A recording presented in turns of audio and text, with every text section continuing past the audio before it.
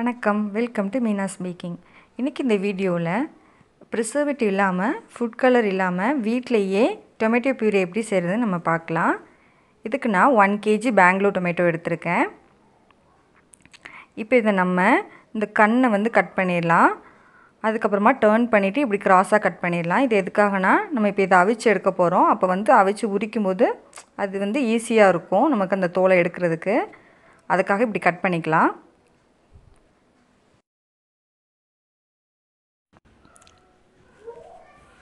இப்போ ஒரு சின்ன பீஸ் பீட்ரூட் எடுத்துக்கலாம். பீட்ரூட் எதுக்காகனா நம்ம பியூரே வந்து ஒரு நல்ல க ரெட் கலராக இருக்கிறதுக்காக ரொம்ப போட்டுறக்கூடாது. ரொம்ப போட்டிங்கன்னா வேறு கலர் பிங்க் கலர் ஆயிரும்.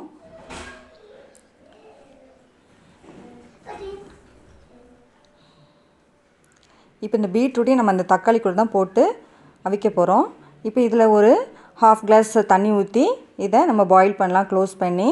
நீங்கள் இதை டைம் இல்லைன்னா இருக்குதுன்னா நீங்கள் வந்து குக்கரில் கூட போட்டுக்கலாம்.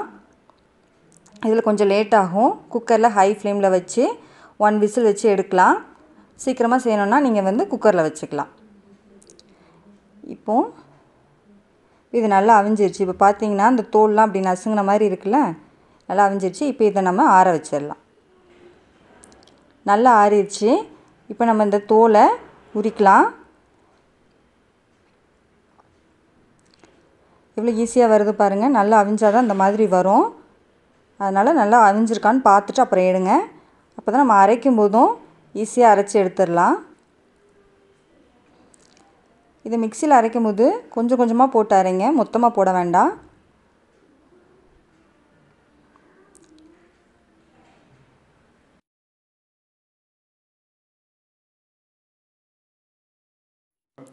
இது கூட தண்ணி எதுவும் ஆட் பண்ண வேண்டாம். நீங்கள் லைட்டாக ஒரு ரெண்டு நேரம் இப்படி திருப்பினாலே போதும். ரொம்ப மைய அரைக்க வேண்டாம்.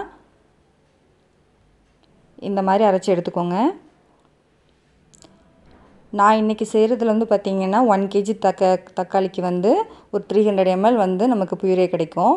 உங்களுக்கு அதிகமாக வேணும்னா நீங்கள் வந்து இந்த குவான்டிட்டி அப்படியே டபுள் பண்ணிக்கலாம். இப்போ அடுத்த செட் தக்காளியும் போட்டு அரைக்க போகிறேன் எல்லாத்தையும் எடுத்தாச்சு. இப்போ இதை நம்ம ஃபில்டர் பண்ணலாம்.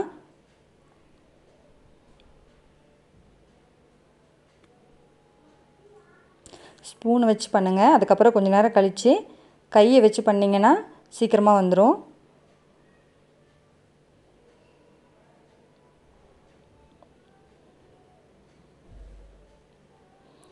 இந்த மாதிரி பண்ணி எடுத்துக்கோங்க. இது எதுக்கு பண்ணுறோன்னா அந்த சீட்ஸ் எல்லாம் அப்போ அதை வந்து நமக்கு வேண்டாம். இது இந்த தோல் நம்ம உரிச்சு வச்சாலும் அதையும் நம்ம வேஸ்ட் பண்ண வேண்டாம். இதை நல்லா ப்ரெஸ் பண்ணி இப்படி பண்ணிங்கன்னா அதுலேருந்து நல்ல ஒரு ரெட் கலர் வரும்.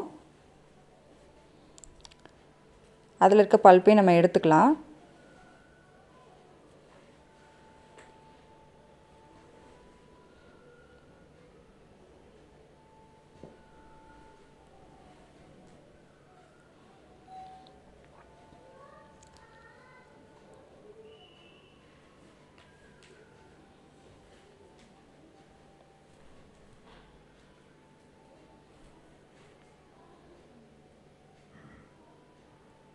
இப்போது இந்த பேனில் மிச்சம் இதில் தண்ணி அதை நம்ம ஆட் பண்ணிக்கலாம். அந்த பீட்ரூட்டோட அப்படியே ஃபில்டர் பண்ணிடலாம்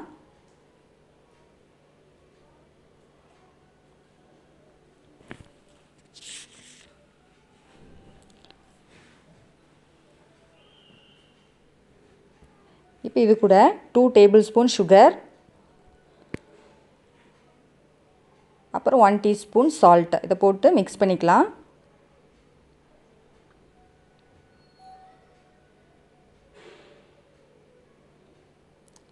இப்போ இதை நம்ம திருப்பியும் பாயில் பண்ண போகிறோம்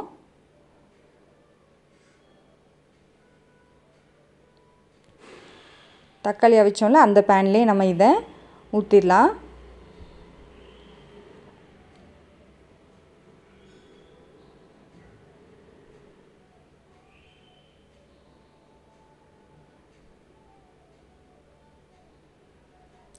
இப்போ இதை ஹை ஃப்ளேமில் வச்சு ஒரு டென் மினிட்ஸ் நல்லா பாயில் பண்ணலாம். இந்த மாதிரி வரும். இந்த மாதிரி மேலே ஒரு மாதிரி வரும் நுர நுறையாக அதை நீங்கள் எடுக்கணுன்னா எடுத்துக்கலாம். வேண்டான்னா விட்டுருங்க. அதுக்கப்புறம் ஒரு டென் மினிட்ஸ் வந்து மீடியம் ஃப்ளேமில் வச்சுருங்க. இல்லை இந்த மாதிரி ஒரு கன்சிஸ்டன்சி வரணும். இப்போது இதை வந்து நமக்கு இந்த கன்சிஸ்டன்சி கரெக்டாக இருக்கிறதுக்கு நம்ம எப்படி செக் பண்ணணுன்னா ஒரு கரண்டியை வந்து இது உள்ளே விட்டு இப்படி எடுத்துட்டு இதை திருப்பிட்டு நம்மளோட ஒரு ஃபிங்கர் வச்சு இதை அப்படியே தேய்ச்சி பாருங்கள் இது க்ளீனாக இருந்ததுன்னா கன்சிஸ்டன்சி கரெக்டாக இருக்குன்னு அர்த்தம். இப்போ ஒரு ஃபைவ் மினிட்ஸ் வச்சிடலாம். இப்போ நீங்கள் நிறைய செஞ்சு ஃப்ரிட்ஜில் ஸ்டோர் பண்ணோன்னா ஒரு half teaspoon citric acid add பண்ணிக்கலாம். நான் வந்து இன்றைக்கி அதை ஆட் பண்ணல. ஏன்னா இது வந்து நான் ஈவினிங்கே யூஸ் பண்ண போகிறேன் ஸோ நான் ஸ்டோர் பண்ண போகிறதில்ல அதனால தான் நான் ஆட் பண்ணல. நீங்கள் வந்து ஸ்டோர் பண்ணுறீங்கன்னா அது வந்து ஆட் பண்ணிக்கலாம். சிட்ரிக் ஆசிட் வந்து உங்களுக்கு ஈஸியாக எல்லா கடைகளையுமே கிடைக்கும். இப்போது இதை நல்லா நம்ம ஆற விட்டுறலாம். இப்போவும் நல்லா ஆற ஆறிடுச்சு இந்த கன்சிஸ்டன்சி கூட பார்த்திங்கன்னா நல்லா கொஞ்சம் கட்டியாக இருக்கும் கலரும் நல்லா ரெட்டாக இருக்குது பாருங்கள் இதை நீங்கள் வந்து பீட்சா பாஸ்தா எல்லாத்துக்குமே வந்து யூஸ் பண்ணலாம்.